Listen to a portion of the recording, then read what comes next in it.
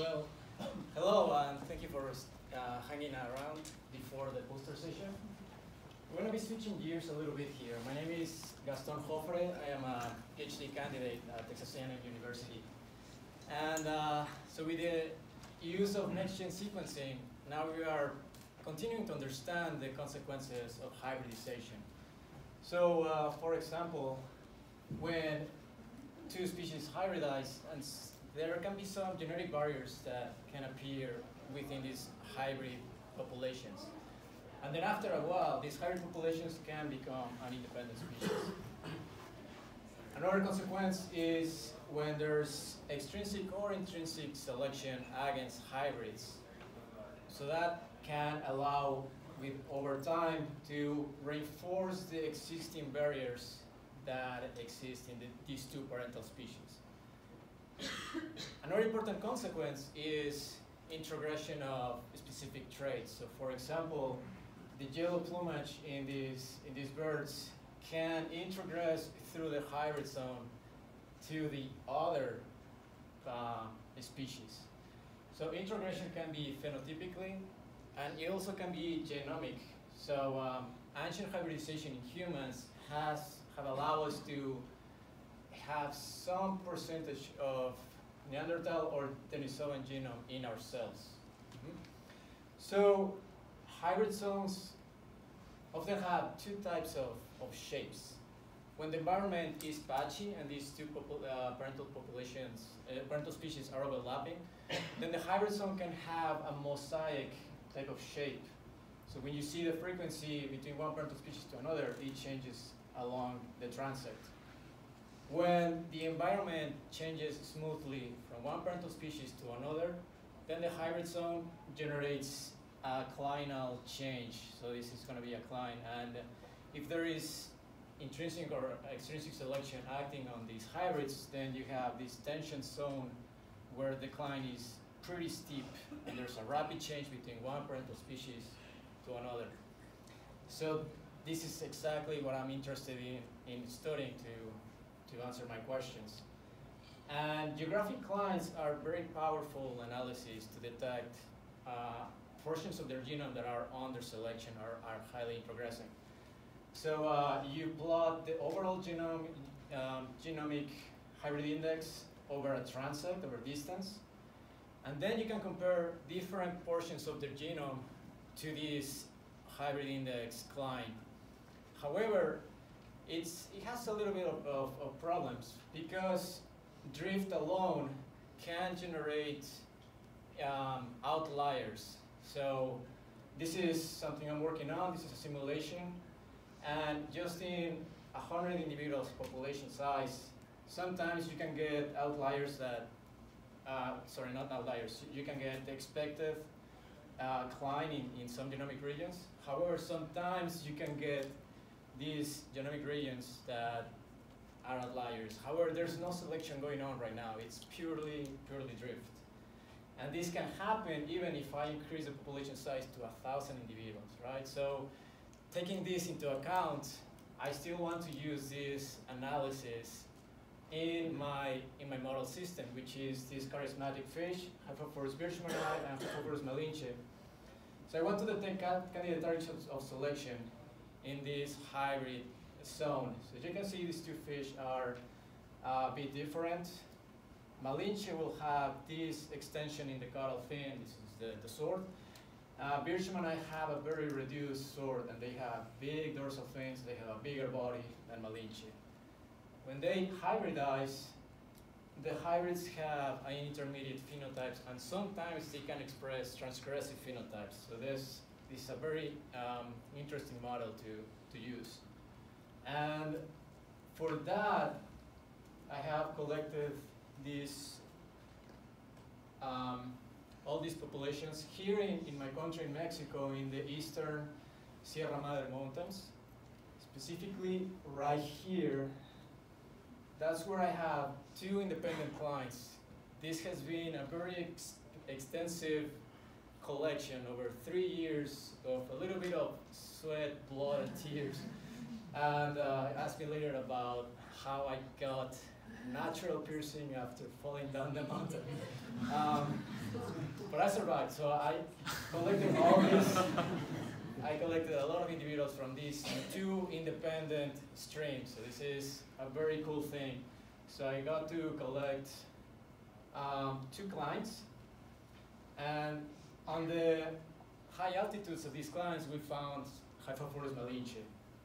And then on the lower altitudes, we found we found Xiphophorus birchmanni.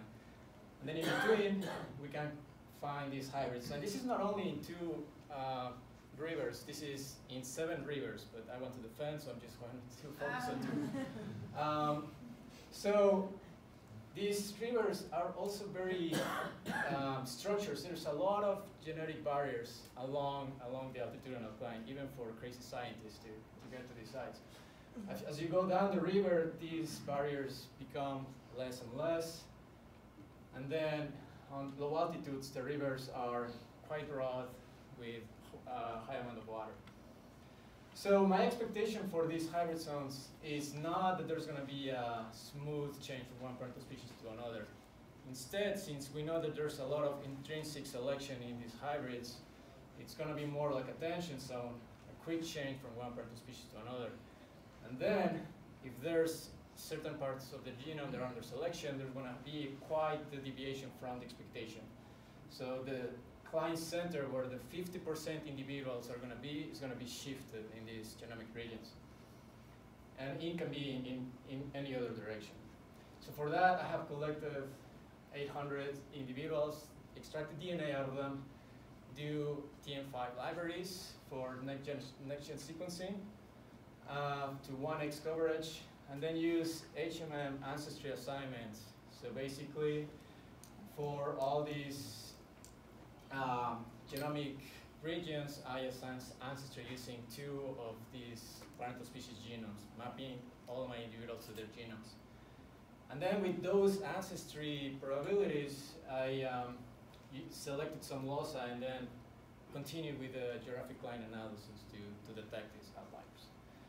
So uh, this is one of the clines, this is the northern cline, and as you can see, this is a quite change uh, from one parental species to another.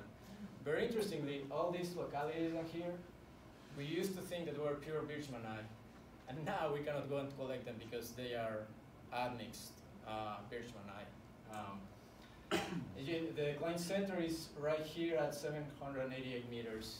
And if we compare this cline with the southern cline, one striking thing is that the, this cline center, it's not at the same altitude.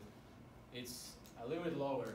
So these two rivers have a different change in, in, in their climate, which I didn't expect that actually. Um, so then we know that we can see that they have a tension zone type of shape because there's a lot of BDMI, uh, uh, DMI, DM incompatibilities in this, in this system.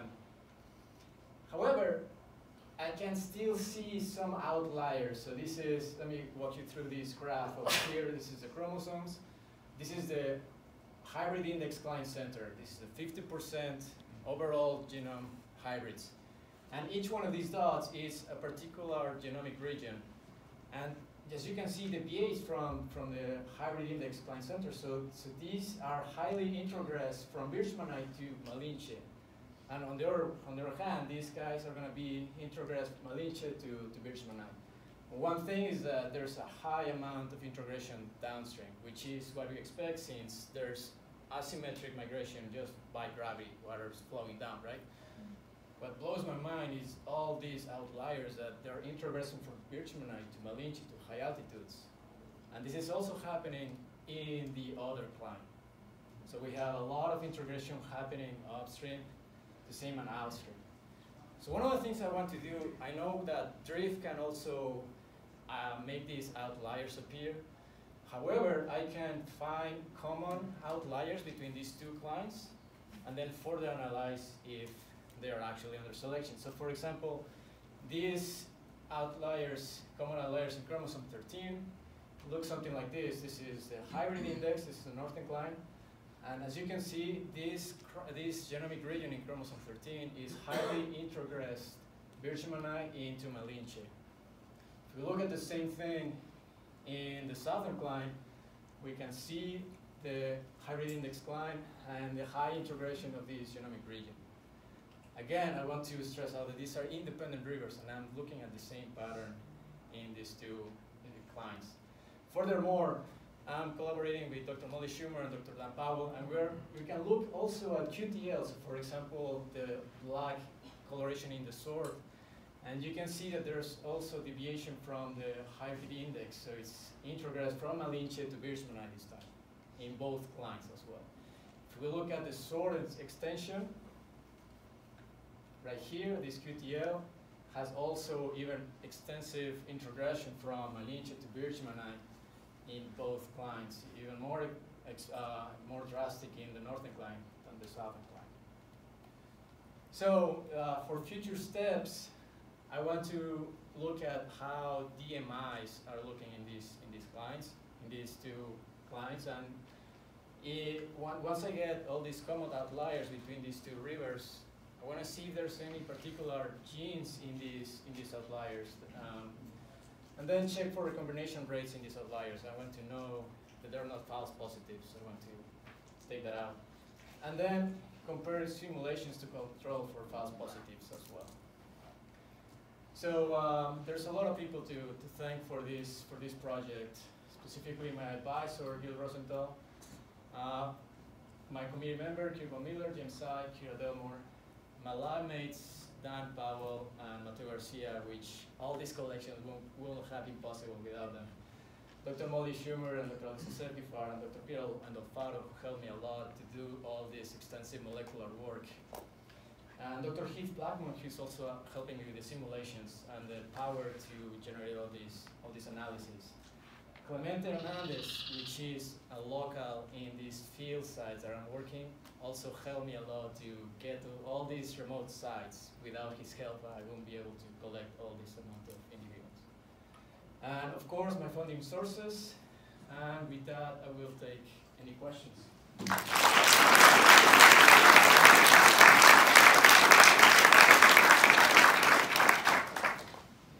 the centers of your zones line up with these physical barriers like the waterfalls? No, that's a great question. So Maybe I can go back quickly to that map over here. So the center for this cline is right at this right at this point, and there's some generic um, big waterfalls happening here. However, in this other other cline, in the southern cline, the big waterfalls are over here, and then here there's more mostly riffles, um, but not big waterfalls. The cline center from this cline is at this at this point. So no, they don't line up with genetic barriers. Yeah. So with the uh, the high species, are the uh, populations in the different rivers very closely related, or are they pretty different, the, the populations themselves? And so these guys, are they? Yeah, are, are they very similar genetically? Are they very close, or are they? Yeah, actually, they are quite. We think that there there's gonna be there's a lot of inbreeding depression in these in these highland species uh, compared to the, to the lowland species.